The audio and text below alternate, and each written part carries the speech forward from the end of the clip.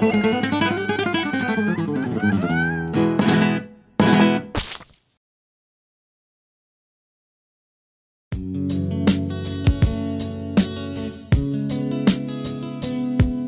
up world? This is Swedish Gringo and I'm back and ready to travel. Let's just hope that travel is ready for me. This will be my first attempted trip since the coronavirus hit and this time we'll be going to Iceland. A beautiful cold country that hasn't suffered that hard in the pandemic but still has pretty tight rules about entering. My joker card is this one. I've tested myself for COVID-19 and I have immunity. Let's just hope that will be enough. I'll just slip this one on and then all we can do is hope and pray.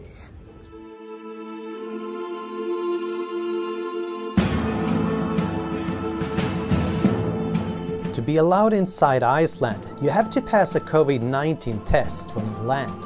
If you fail, you'll be sent to a 14-day quarantine. By the way, if you're a snus addict, get rid of the evidence. Iceland has strange laws about tobacco.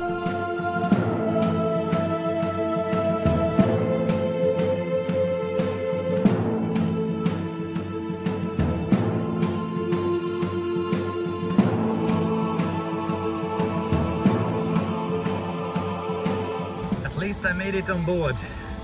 Let's hope this lucky streak continues.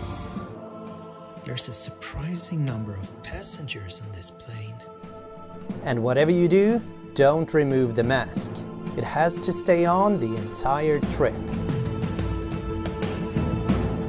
Also, to minimize risk of exposure, most airlines have withdrawn the drink service on board, so bring your own. And try suppress the anguish of perhaps getting locked inside a Corona hotel for two weeks.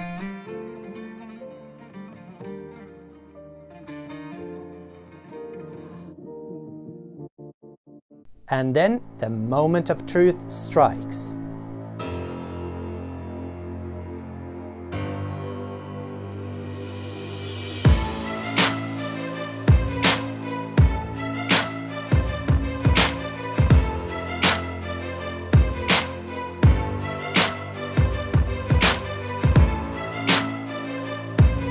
Show your document for the planned corona screening and get in line, but keep distance.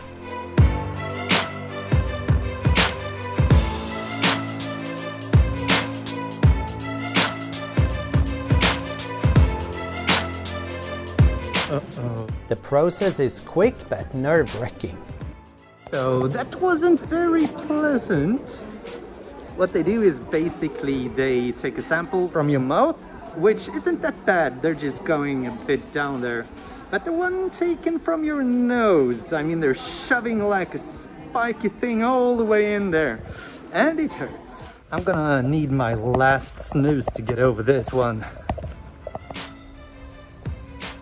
After this refined torture, you're allowed to exit the airport awaiting the results. Oh, that feels so good.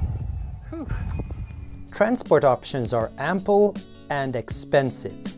I fell for the mid-budget option, airport bus with delivery at the doorsteps of your hotel.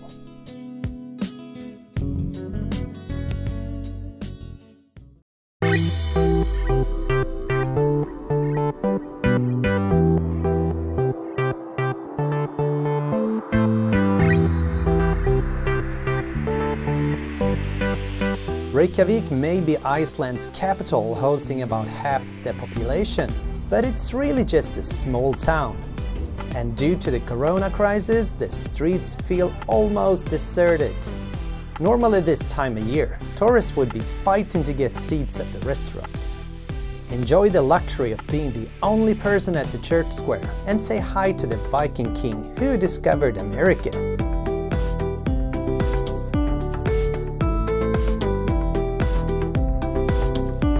Having a waffle is optional. It doesn't really feel that Icelandic, but they're damn good. Also, don't forget to take that extra 15 minute walk outside the city to get a glimpse of what's surrounding Reykjavik. Extraordinary rough nature.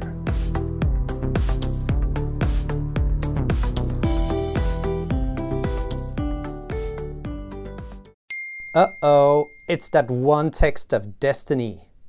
Saying I passed the test and I'm free to roam the land.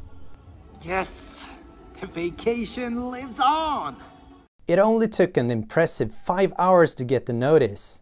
Iceland, you rock! Got a few hours to spend? Visit Reykjavik's oldest thermal pool bathhouse, Sundhöllin. Just get rid of all those warm winter clothes and dress down to beachwear. There are a number of different pools, of which the biggest one has a regular temperature. That's not for you. Keep walking to reach the 39 degrees Celsius recuperation pools on the terrace. Wanna go even hotter? Challenge yourself with a swim in the notorious lava pool.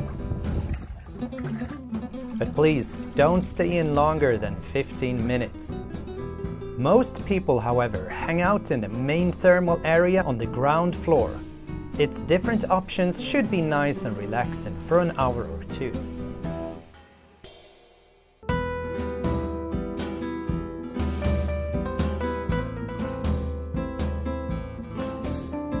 The whole visit, including your locker, will cost a mere $7. Yeah, I know. You don't really care about no damn bathhouse. You want to see the Blue Lagoon. So, let's go. Let's do this. And hell yeah, it looks way better without all the tourists. Normally I would advise you to skip this particular place because of the price and the crowds, but things have changed. Holy crap.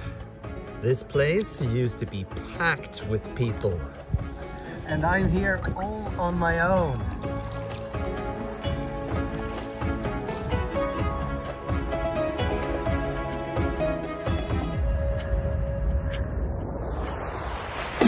Normally, there would be about 1,500 tourists at one time at this particular time of year. Yesterday, the count here was four. Another empty part of the lagoon. I think I could get used to this. During lockdown, staff also took the opportunity to change that old dirty water. The blue hot paradise has never been this clean. It's so quiet now, even birds have taken refuge in the lagoon.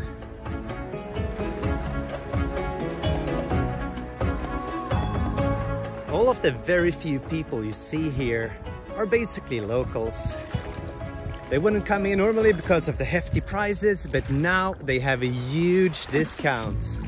As my cab driver said, the Icelanders can finally enjoy their own country.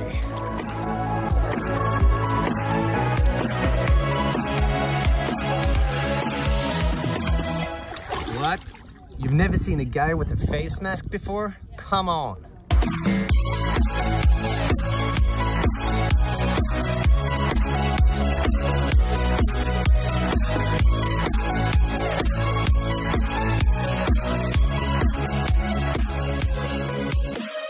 Number of problems right now? Zero. Don't climb the rocks. It's just, when you're alone, you can do pretty much whatever you want.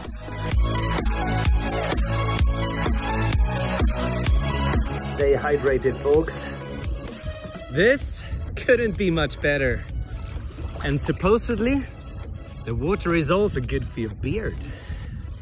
All right, I've been here like four hours now. Maybe it's time to call it a day.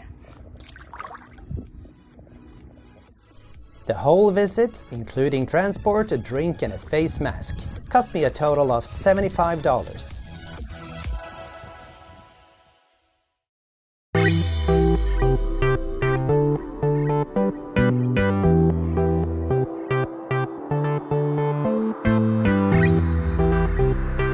Day three now, and this is literally the first sun I've ever seen since I came here to Iceland. Man, I can't believe I'm saying this. I kind of miss Swedish summer.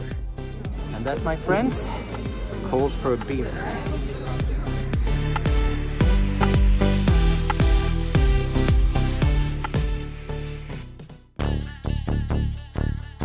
Next stop on your trip should be one of Iceland's iconic landmarks. Not all of them are open, but Geysir, the country's most famous squirting geyser, is still there for you.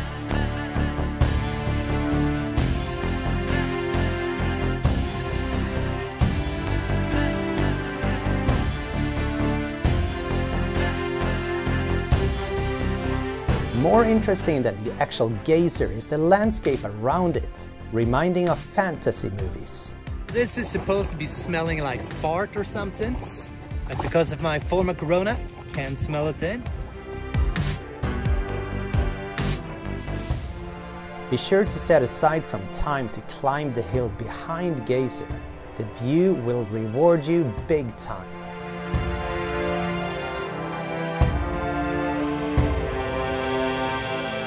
Geysir was part of a three-stop trip, so I can't really give you a price. The whole trip cost 80 bucks. Next comes the second stop, Gullfoss.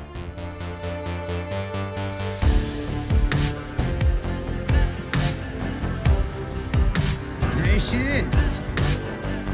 Gullfoss is neither the biggest nor the tallest waterfall in Iceland, but certainly the most spectacular. The name translates to the Golden Falls.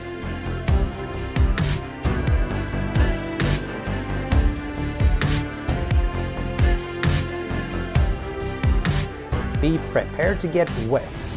Yeah, this is what I call a waterfall.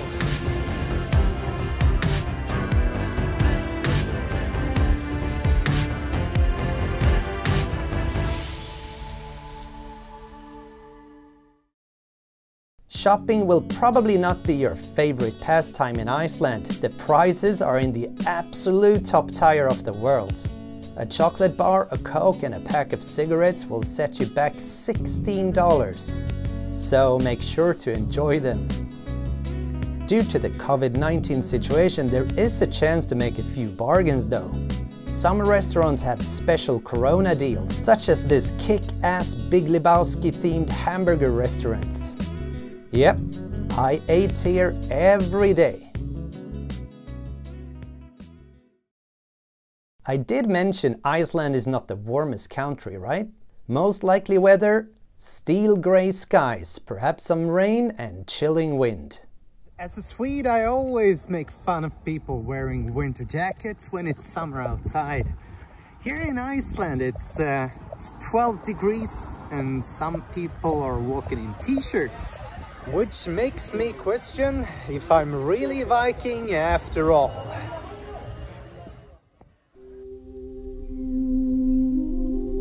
Hearing the song, we are traveling to a truly epic place. This area is where the Viking leaders met in the early days to settle their arguments and make law.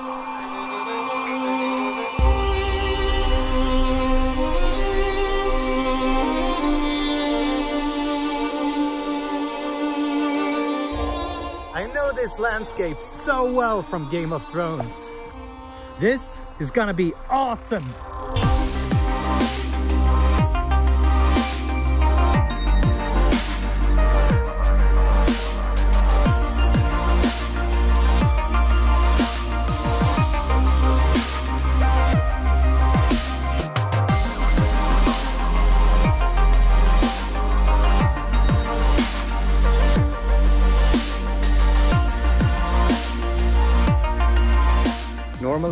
Guess this place would be packed with people.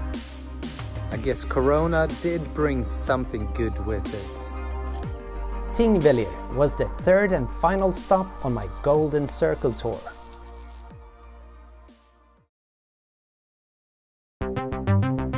Despite its small size, Reykjavik has a solid nightclub scene, especially under normal circumstances. Yep, they got Timbo. I suddenly knew what to do with all those coins.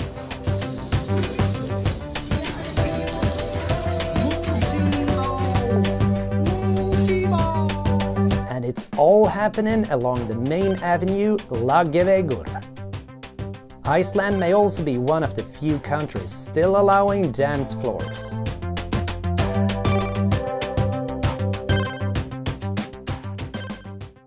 And for all you snus lovers, a minor clarification. It might be that the nicotine, non-tobacco ones are legal in Iceland now, but if you're not sure, if you're ditching your snus before you leave in home, this is where you find the new ones. Yeah, Drucken. Let's uh, let's try it out. That's the one you're going for. That's a good one. Actually asked the clerk and he doesn't know as well. So we're still left in the dark about whether white snus is legal or not coming into Iceland.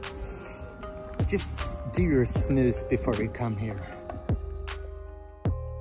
That's all from Iceland, and also the last trip I currently have planned. Let's all sit down in silent prayer for that evil COVID-19 to leave us the alone. Until then, take care.